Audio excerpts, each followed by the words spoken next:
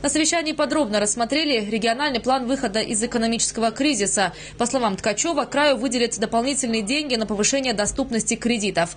Это, в свою очередь, позволит поддержать один из главных источников доходов на Кубани – малый и средний бизнес. Развитию этого сектора экономики в 2015-м краевые власти уделят особое внимание. Сегодня доля таких предприятий в РП края свыше 26%, а должна быть не менее 50%, как в развитых экономиках мира. Поэтому развитию малого бизнеса в текущем году в крае будет уделено особое внимание. На поддержку малого и среднего предпринимательства мы предусмотрели более 700 миллионов рублей. Это в три раза больше, чем в прошлом году. Кроме того, для малого и среднего бизнеса в крае будет введен целый пакет налоговых преференций. Для впервые зарегистрировавшихся индивидуальных предпринимателей будут введены каникулы по налогам и проверкам. Это касается тех, кто занимается производством, работает в социальной и научных сферах.